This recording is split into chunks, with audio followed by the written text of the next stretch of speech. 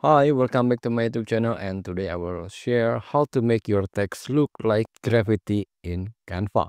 So go to Canva and then I will choose YouTube thumbnail size. Now let's start with making the text and go to apps. Type here text, enter, and then choose text maker and type here street, enter, and then choose this street art I will keep the font like this, Sedgwick Ave. And I will type here graffiti. I will add a space here to avoid the text being cut.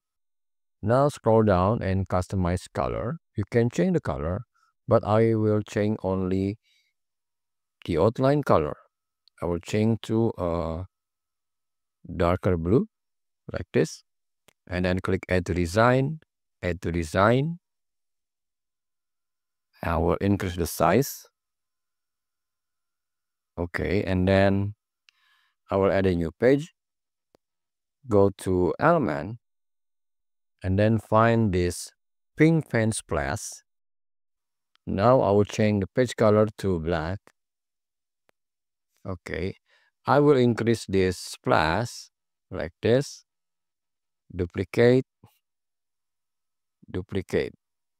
All right and then I will duplicate it change to this blue and then I will reduce the size and I will rotate a little and place it here duplicate place it here and duplicate place it here and rotate a little. Okay and then I will duplicate it more. I will reduce the size and I will change the color to this kind of Tosca. All right. I will duplicate and I will rotate it.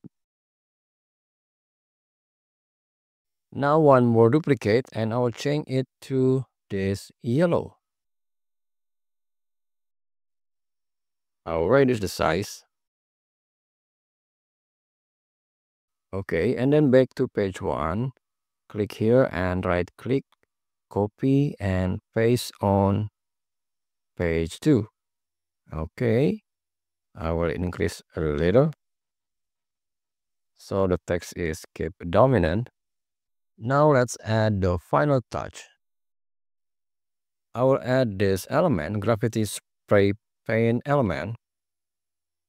I'll place it here and change the color to the same color as this blue.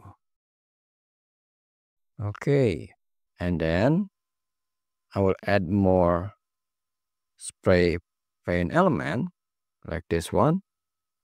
I will place it here and I will change the color to this orange.